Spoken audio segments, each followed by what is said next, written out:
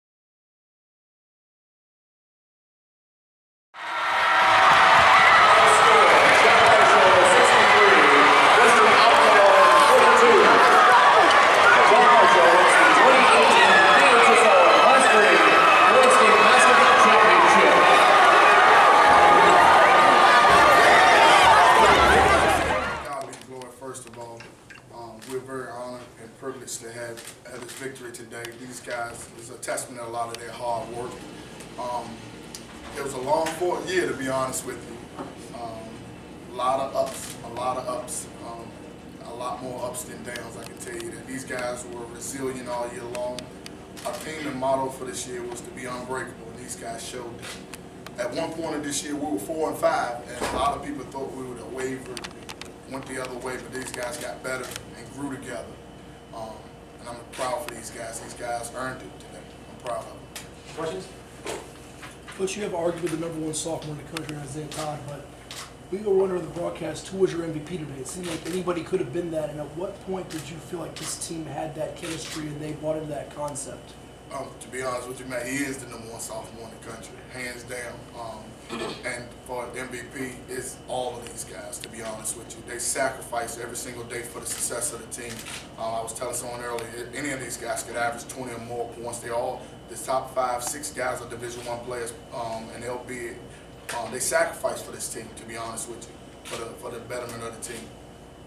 Hey, Coach Todd, do majority of your players play AAU all year after basketball season? They play together all year round until the season starts? They play on different teams, um, but they, they do play, some of them play together. They create great chemistry together by playing AAU as well. Is that, is that mandatory? It's not mandatory, not mandatory. Guys, does this team, did this team get along better on the court than, than maybe last year's team? Did this team cohesive, have more cohesion than, than last year's team? Where'd that come from? A lot of bonding outside of basketball in this school. Kyle, your bench was huge today. You had a lot of guys in foul trouble. How much confidence do you have with those guys? And how, how good are they? Because I guess a lot of people don't see them all the time. No question. Well, the two guys that come off our, um, two of the guys that come off our bench, um, Aubrey Murray and Jairus um, Ashlock, those two guys are started on any team in the state of Virginia, and that's no disrespect to other teams, but those guys are that talented. Um, they'll be scholarship kids as well, and that just shows the depth of the team. More on Jerry, 14 points, 18 minutes. You talked about the lift he gave you there in the second quarter. Those are things we expect him to do, to be honest with you. We have high expectations for Jairus, and um, today he came through for us big.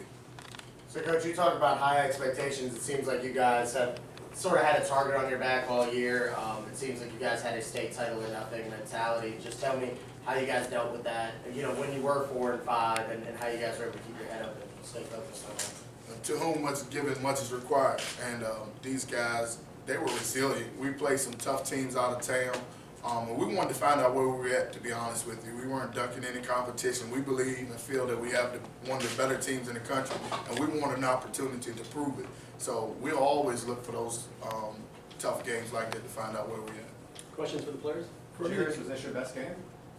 Yes, my father the best game of the season, yes. What, what was going on for you? What, what made it work?